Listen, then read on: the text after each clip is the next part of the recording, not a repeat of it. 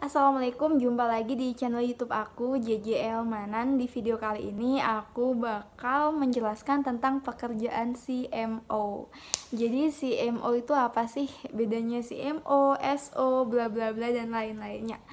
CMO tuh ya kalau kita tahu banyak banget ya pekerjaan yang menggunakan singkatan-singkatan bahasa Inggris otomatis kita merasa awam gitu. Padahal sebenarnya kalau kita tahu artinya, kita bakal tahu gitu e, secara garis besarnya pekerjaan tersebut.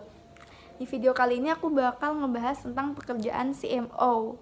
CMO itu kalau kita tahu ya kepanjangan dari Credit Marketing Officer.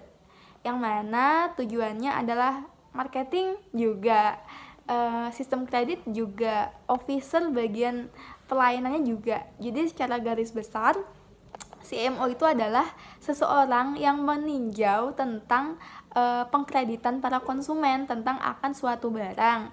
Misalnya barangnya bisa berupa kendaraan ya, uh, motor, mobil dan barang elektronik lainnya yang memang membutuhkan biaya atau dana besar. Terus Misalnya kalian yang sedang mencari pekerjaan atau memang membutuhkan pekerjaan atau sedang memang akan interview dan atau juga sudah bekerja menjadi CMO, kalian bisa simak video ini lebih lanjut ya. Karena ketika kita bekerja menjadi CMO, yang pertama kali dilihat adalah fisik kita. Apakah fisik kita itu kuat?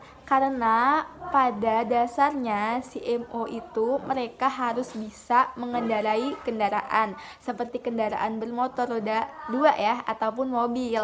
Tapi kalau pengen lincah, pengen cepat aku saranin pakai motor karena apa? Uh, pekerjaan CMO adalah door to door yang mana mengunjungi rumah si para konsumen yang akan mengkredit tadi apakah layak atau enggak mereka untuk e, mengkredit suatu kendaraan atau barang tadi ke dealer tadi. Jadi sistemnya gini nih. Yang bertugas untuk mencari konsumen itu adalah SO ya atau sales officer.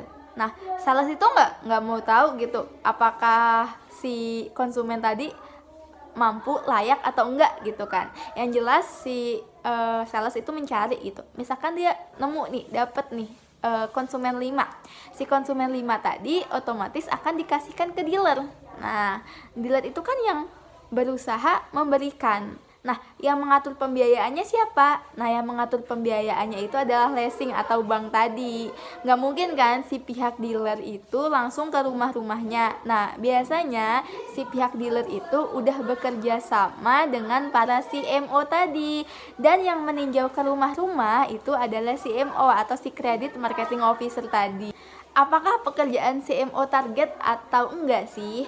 Kalau di ngomongin target, pasti semua pekerjaan yang berkaitan dengan finance atau keuangan pembiayaan itu akan berkaitan dengan target. Misal dalam sebulan itu CMO mempunyai target closing sebanyak 25 sampai 30 closing. Uh, jadi yang paling diberatkan dari para CMO itu adalah ketika akhir bulan. Kenapa? Ketika di awal bulan dia cuma dapat 1 2 3 4 5 dan otomatis kekurangannya harus dia kejar di akhir bulan tadi. Kalau ngomongin target jelas target ya.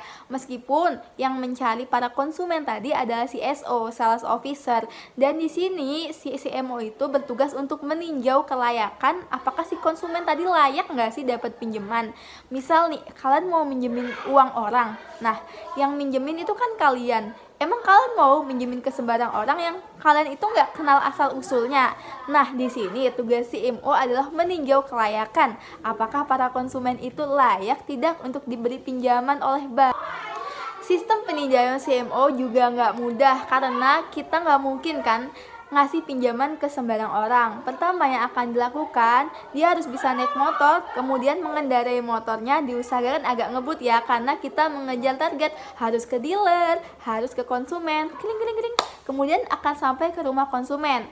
Pastikan si konsumen itu mempunyai tempat tinggal tetap. Mungkin kalau yang masih ngontrak itu nggak apa-apa, karena biasanya kelengkapan yang ditinjau awal adalah kartu keluarga dan KTP. Uh, eh, kalau BPKB enggak ya, biasanya itu KK dan uh, eh, KTP aja. Apakah uh, layak nggak sih kita tinjau gitu pekerjaannya apa? Misalnya mempunyai pekerjaan formal tetap. Kalau wira swasta itu kan kadang ombang-ambing ya penghasilannya, tetapi ketika e, bekerja di pekerjaan formal mungkin gajinya akan e, signifikan itu loh, nggak nggak down banget, nggak atas banget, tapi rata insya Allah bakal ada gitu penghasilan tiap bulannya. Otomatis si CMO tadi si peminjam tadi yang aku udah dapetin dari bank e, bakal pasti layak nggak sih kalau emang layak uh, ya diberikan tetapi kalau enggak ya kita pikir-pikir dulu gitu. Untuk sistem peninjauan seperti itu. Nah untuk awal kerjanya gimana? Uh, karena setiap bulannya kita harus closing 25 sampai 30 closing konsumen itu adalah target kita. Meskipun kita uh, nggak mencari akan tetapi ketika kita mencari para konsumen dengan pribadi itu malah lebih bagus. Siapa tahu akan menambah intensif kita dan otomatis akan lebih gampang kan untuk meninjau. Misalkan kita nggak lewat SO nggak kita nggak lewat si sales officer kita langsung dapetin si konsumen kan malah enak tuh buat berhubungannya. Apalagi si konsumennya udah kita kenal langsung. Otomatis langsung gampang gitu untuk berkaitan dan berhubungan dengan konsumen langsung Nah, kalau kita udah yakin bahwa si konsumen tadi layak untuk mendapat pinjaman, yang selanjutnya adalah kita uh, meninjau gitu. Untuk pembayaran pertamanya harus tepat waktu sampai pembayaran kedua, ketiga, keempat, kelima, keenam. Dan untuk pembayaran selanjutnya itu berkaitan dengan di si debt collector, si penagih. Jadi petugas CMO adalah menjamin bahwa si konsumen tadi yang kita berikan pinjaman untuk membayar angsurannya tepat waktu, jangan sampai tunggak. Karena kalau tunggak itu adalah konsekuensi si CMO tadi. Jadi apakah dari sini kalian paham pekerjaan CMO itu apa? Bukan sales ya, tetapi si uh, peninjau surveyor lah istilahnya itu surveyor apakah si konsumen tadi layak untuk diberikan pinjaman. Nah kalau keluh kesahnya pasti banyak ya. Karena misalnya kalau awal bulan kita masih bisa santai-santai gitu karena udah jangar akibat akhir bulan kita sudah mencapai closing terus-terusan tetapi di akhir bulan itu pusingnya nggak karuan gitu. Kita belum closing bulan ini tetapi tiba-tiba udah hampir penutupan gitu uh, keluh kesahnya lagi misalkan si konsumen kita tadi bayarnya nggak tepat waktu. Gimana? Yang yang disalahin siapa? Otomatis si CMO tadi karena si CMO tadi kan tugasnya adalah meninjau apakah layak atau enggak eh kok nggak layak? Kok suka nunggak? Kok malah dikasih pinjaman?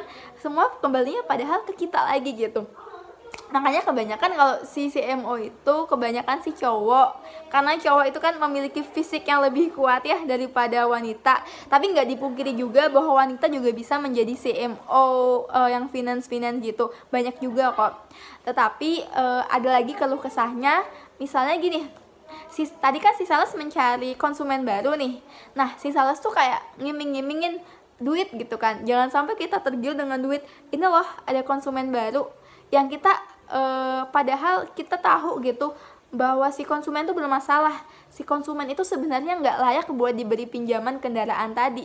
Tetapi si sales malah mengiming-imingi kita dengan uang. Otomatis yang rugi nanti yang bermasalah di nantinya itu bakalan kita si CMO nya tadi. Karena apa misalkan kita memberikan pinjaman kepada orang yang nggak layak untuk dipinjamin dengan iming-imingan ini loh ada konsumen baru tetapi kita meminjami yang bermasalah malah kitanya makanya kita harus benar-benar bertanggung jawab atas konsumen yang sudah kita survei dan kita tinjau karena apa? Karena si konsumen tadi kan uh, hitungannya meminjam gitu, kredit gitu. Uh, jadi ya kita harus memastikan bahwa ya hitungannya bisa 1 sampai 6 bulan itu tanggung jawab kita. Si konsumen itu harus membayar bulanan tepat waktu.